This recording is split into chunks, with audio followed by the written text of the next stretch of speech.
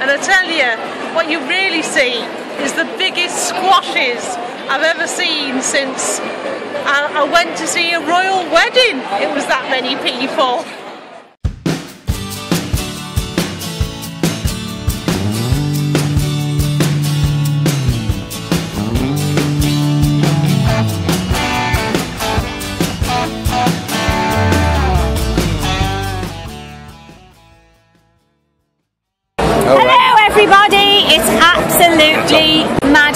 Could hardly see anything.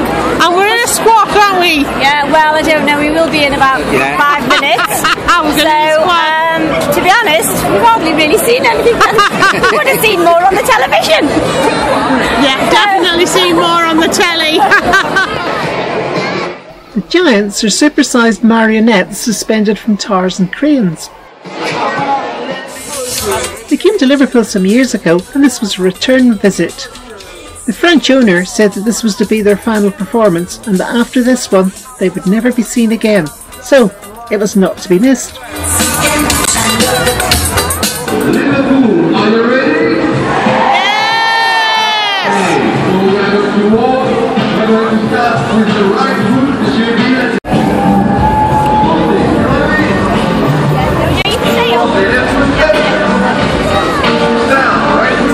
giants were operated by people pulling ropes and weights, but the big giant had teams of people jumping off platforms to move his feet. They must have been absolutely exhausted by the end of the day. It was definitely something to see though, and hundreds of thousands of people had turned out to watch. And then there was the band, which played its music so loudly that we nearly all went deaf.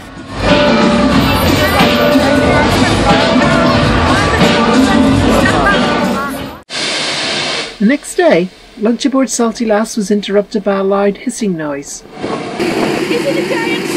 The giant boy was floating past in a giant shoe, and he was accompanied by a fleet of interested people.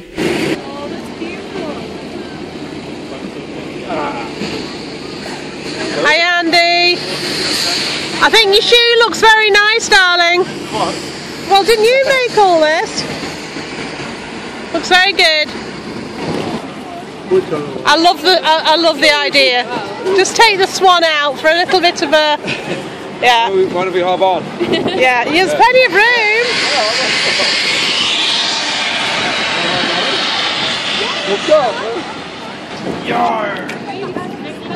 Uh, you need to go backwards, darling.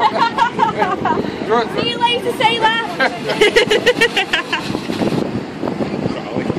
I couldn't resist getting in in the act, so I got Salty Sausage out and Murder Against the Marina Wall, but I couldn't see very much through all the smoke.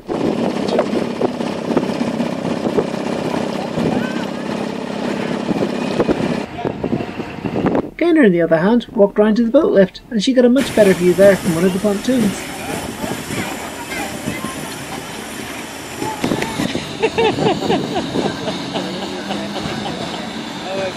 Oh, no, that was too early. We were too premature there, folks.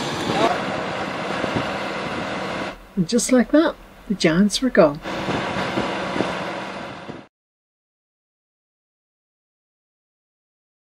Are all systems go? Where all systems go. I wanted to check the fridge insulation, but unfortunately I have to take the whole kitchen unit apart because all this Corian desk or all this Corian worktop is all one piece, so the whole thing has to be lifted out. And there's no easy way to get to the fridge to check the insulation. So rather than putting more insulation on the outside, I'm putting it on the inside because I can get to the inside of the fridge quite easily. So I've got basically some closed cell foam that I've cut to fit around the cold plate and things like that. And um, I just stick it inside the fridge. And I've just forgotten which way around it goes. It goes that way around. So really, all I have to do with this is coil it up, position it correctly in here,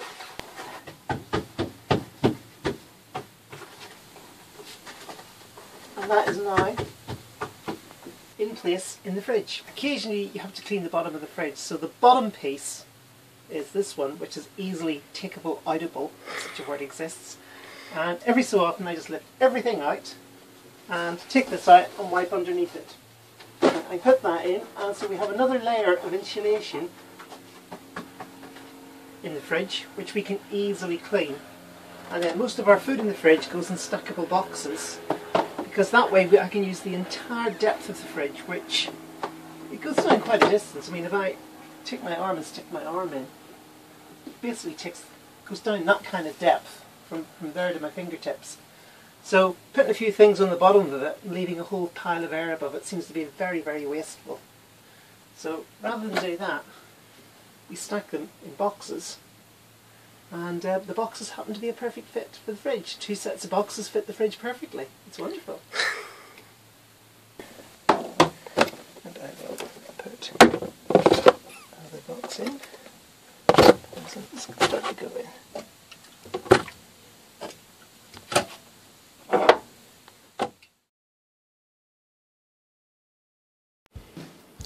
Here on the boat, it's all about using some leftovers. Bev's just been cleaning the fridge. So um, we've got some um, spring onions that look a bit worse for wear. A just half an onion.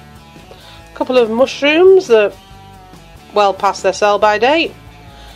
Um, and um, some pepper. So I've chopped everything up and I'm now going to put it into a pan which gosh horror I'm uh, using Bev's because uh, she's already had her lunch.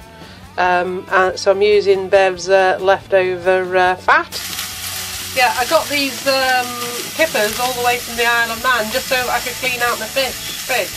Because I'm going to basically use this vegetable and some rice to make a kedgeree. Ah, so I've got all this lovely, absolutely gorgeous kipper. But they are seconds, so you don't get as much meat as you would on a uh, first. But I'm just basically going to take this all off and um, just flake it into here. Uh, and then I've got a bit of rice. Um, and then I'm just going to give it a quick, another another quick waz, and that'll be my lunch. But I tell you now, I'm going to be well full. So I've added my fish to the concoction. I'm now going to add the um, um, parboiled rice. And I'm basically just going to fry that for a little bit. Add the uh, egg and um, that'll be it done. You just want the rice to uh, absorb all those lovely flavours like from the fish and from the oils. And um, so that's what I've done. But now it's ready to serve. So what I'm just going to do is just add some more tomatoes. Just add the tomatoes and the boiled egg. Literally at the last little bit. A couple more little uh, turns. And that's going to be lunch. Ah, oh, geez. It's actually going to taste divine but I think I could do with a little bit more help on the uh, presentation. I think if I could have left the eggs out and then put them on top, I think that would have been much better. Anyway, this is my lunch and I'm going to be well stuffed after all this.